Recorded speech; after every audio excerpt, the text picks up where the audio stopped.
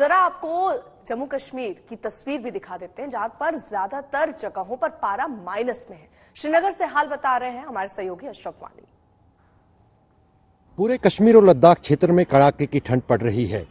बीती रात पहाड़ों पर हल्की बर्फबारी हुई, जिससे और तापमान में गिरावट आई है। श्रीनगर की अगर बात करें तो यहाँ का तापमान रात में माइनस चार डिग्री तक लुढ़का, जबकि दिन का तापमान भी दो से पाँच डिग्री के आसपास ही रहने की आशंका है। फ़िलहाल आने वाले दिनों में भी कश्मीर में लोगों को ठंड से राहत मिलने की कोई उम्मीद नहीं है, क्योंकि 30 दिसंबर को कश्मीर में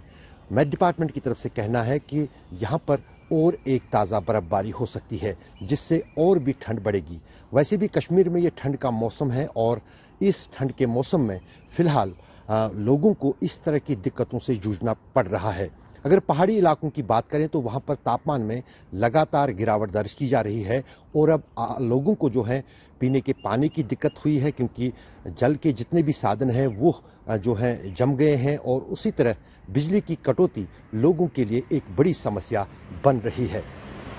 जहाँ तक नए साल और साल के अंत पर होने वाले जश्न की तैयारियाँ हैं तो कई सारे लोग देश के अलग अलग हिस्सों से कश्मीर में नए साल का जश्न मनाने के लिए पहुँच रहे हैं और उसके लिए व्यापक इंतज़ाम जो है, जम्मू कश्मीर प्रशासन ने भी किए हैं, जिसमें विंटर कार्निवल्स का आयोजन जो है गुलमर्ग और पहलगाम में होगा, ताकि ज़्यादा से ज़्यादा पर्यटक कश्मीर में साल के अंत पर हो रही बर्फबारी का मज़ा ले सकते हैं। अशरफ वानी, श्रीनगर, आज तक।